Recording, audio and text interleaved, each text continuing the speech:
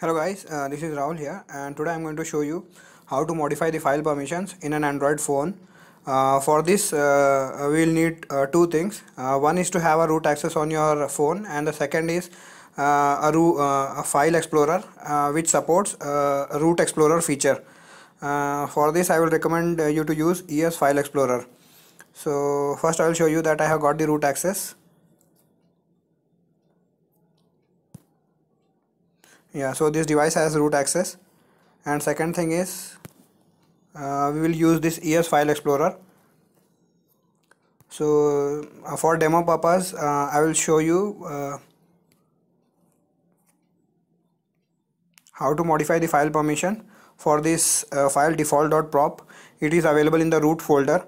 Uh, so it is very important that whatever file for which you want to change permissions uh, that file uh, should be first copied to the uh, root folder or it or any other folder inside the root folder say like system data etc.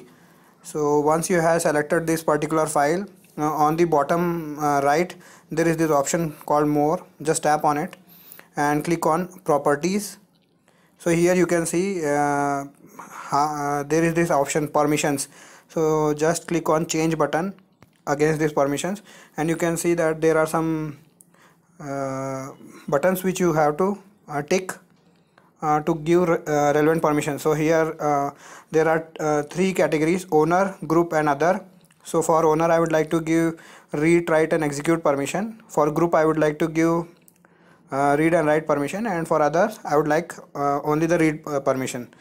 So once this is done just click on OK so uh, this uh, new permission will be reflected automatically.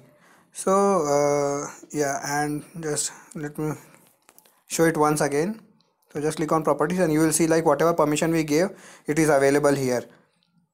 And uh, uh, this is it. And one more thing I would like to show you is, is that if this file is not available in the root folder uh, then this process will not work.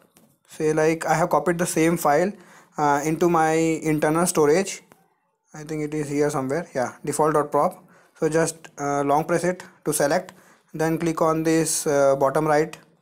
Uh, here click on properties and you can see that uh, permissions option is not available here. So guys uh, hope you uh, like this video. Please like and subscribe. See you in the next video. Bye for now